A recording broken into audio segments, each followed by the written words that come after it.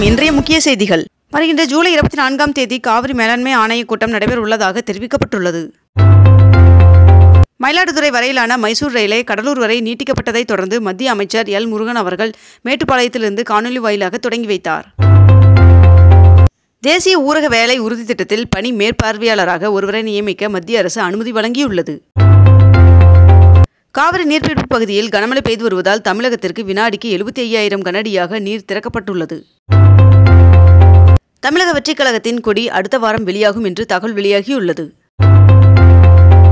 சென்னையில் இன்று இருபத்தி ரெண்டு கேரட் ஆபண தங்கத்தின் விலை சவரனுக்கு இருநூத்தி நாற்பது ரூபாய் குறைந்து ஒரு சவரன் ஐம்பத்தி ஐயாயிரம் ரூபாய்க்கு விற்பனையாகிறது. அதேபோல் ஒரு கிராம் வெளியின் விலை தொண்ணூற்றி ஏழு ரூபாய் எழுபத்தஞ்சு பைசாவாகவும் விற்பனை செய்யப்பட்டு வருகிறது.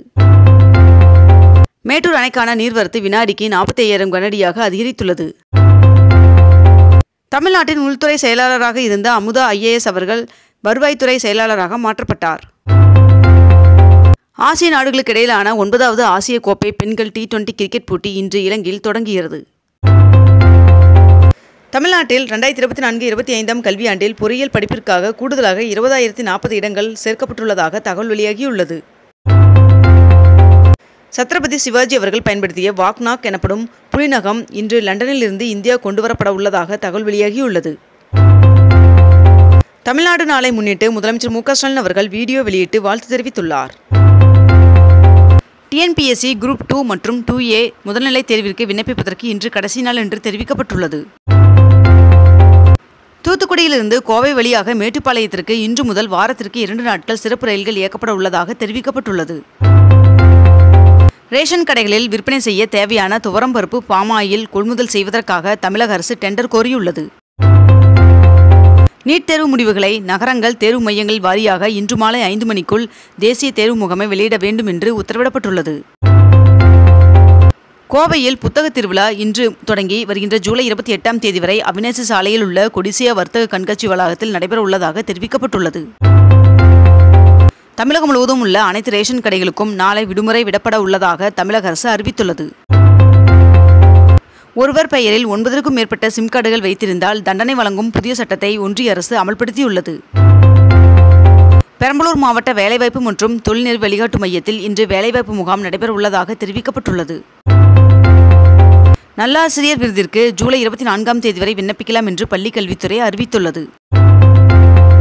தமிழகம் முழுவதும் வார விடுமுறை மற்றும் பௌர்ணமியை முன்னிட்டு ஆயிரத்தி இருநூத்தி நாற்பத்தி ஐந்து சிறப்பு பேருந்துகள் இயக்கப்பட உள்ளதாக தெரிவிக்கப்பட்டுள்ளது. பனியமாதா ஆலய திருவிழாவை ஒட்டி ஆகஸ்ட் ஐந்தாம் தேதி தூத்துக்குடி மாவட்டத்தில் உள்ளூர் விடுமுறை அறிவிக்கப்பட்டுள்ளது. வருகின்ற ஜூலை இருபத்தி நான்காம் தேதி மருத்துவ கவுன்சிலிங் தொடங்க உள்ளதாக மத்திய அரசு தகவல் தெரிவித்துள்ளது. உத்தரப்பிரதேசத்தில் எக்ஸ்பிரஸ் ரயில் தடம் புரண்டு விபத்துக்குள்ளானது. இதில் நான்கு பேர் உயிர்ந்துள்ளதாக தகவல் வெளியாகியுள்ளது. கர்நாடக அணையிலிருந்து காவிரிக்கு திறக்கப்படும் நீரின் அளவு வினாடிக்கு அறுபத்தி ஐயாயிரம் கனஅடியாக அதிகரிக்கப்பட்டுள்ளது. நீட் மறுதேர்வு நடத்த முடியாது என்று உச்சநீதிமன்ற தலைமை நீதிபதி அமர்வு திட்டவட்டமாக தெரிவித்துள்ளது. முப்பத்தி மூன்றாவது ஒலிம்பிக் போட்டி பிரான்ஸ் நாட்டின் பாரிஸ் நகரில் வருகின்ற இருபத்தி ஆறாம் தேதி தொடங்கி ஆகஸ்ட் பதினொன்றாம் தேதி வரை நடைபெற உள்ளது. மேலும் இந்த ஒலிம்பிக் போட்டியில் இந்தியாவிலிருந்து நூற்றி பதினேழு வீரர்கள் கலந்து கொள்ள உள்ளதாக தெரிவிக்கப்பட்டுள்ளது. தமிழகத்தில் இன்று கன்னியாகுமரி நெல்லை தென்காசி தேனி திண்டுக்கல் விருதுநகர் திருப்பூர் கோவை நீலகிரி சென்னை திருவள்ளூர் காஞ்சிபுரம் செங்கல்பட்டு மயிலாடுதுறை தஞ்சாவூர் கள்ளக்குறிச்சி திருவாரூர் நாகை புதுக்கோட்டை ஆகிய பத்தொன்பது மாவட்டங்களில் லேசான முதல் மிதமான மழைக்கு வாய்ப்புள்ளதாக வானிலை மையம் தெரிவித்துள்ளது. இத்துடன் இன்றைய தலைப்புச் செய்திகள் நிறைவடைகின்றன. மேலும் இதுபோன்ற அண்மை தகவல்களை உடனுக்குடன் தெரிந்து கொள்ள அக்னிபூ சேனலை சப்ஸ்கிரைப் செய்து கொண்டு தொடர்ந்து இணைந்திருங்கள். நன்றி வணக்கம்.